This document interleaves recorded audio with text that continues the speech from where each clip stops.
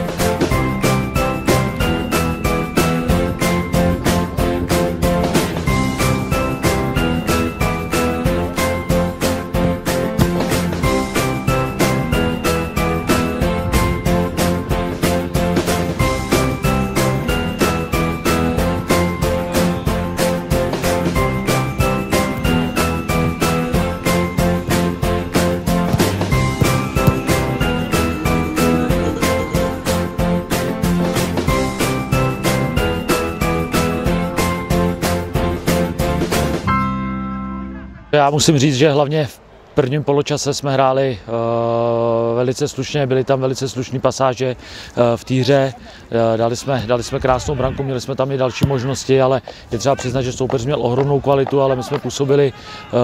kompaktně a ten výkon, ten výkon snes přísnější měřítko v tom prvním poločase. V tom druhém poločase si myslím, že jsme tu hru chtěli víc kontrolovat, chtěli jsme prostě být nebezpeční, což se nám jako dařilo, pak jsme si nechali takovou zbytečnou branku a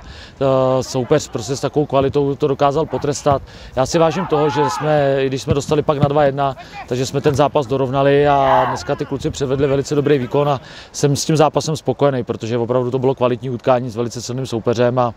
byly tam věci, na kterých určitě se dá, určitě se dá stavět. Jsem moc rád, že ty kluci přišli, že eh, se nám podařilo je přivést v takhle krátké době, že mohli s náma tady být ten delší čas, aby jsme se mohli sehrát, že ono to je pak vždycky těžké, když přijde třeba sedm nových lidí, tak eh, něco tomu, tomu týmu vtisknout a ty kluci od prvního tréninku kluku, co přišli, tak prostě makají naplno, přinesli sem kvalitu, a, což bylo vidět i dneska prostě v tom zápase a já věřím, že jim to vy, vy stačí hlavně na tu, nebo vydrží na tu, na, tu, na tu sezonu, ale jsou to hráči, o kterých jsme stáli a já věřím tomu, že prostě pro ten tým budou obrovským přínosem. Tak od pondělí vlastně trénu s týmem naplno a, a i když jsem zvládl zatím jenom tři tréninky v té plné zátěži, tak jsme se dohodli, že dneska zkusíme, zkusíme těch 20 minut a, a já věřím, že už ty minuty teď budou jenom přibývat a hlavně, že to zdraví bude držet. No. Nastoupil jsem a za minutu jsme dostali gol, tak to taky není dobrá vizitka, ale, ale jsem rád za tu asistenci, ale myslím si, že jsme podali dobrý výkon a super, super byl kvalitní a myslím si, že když budeme hrát takhle náročně a aktivně, tak, takže v té lize bychom to mohli zvládnout.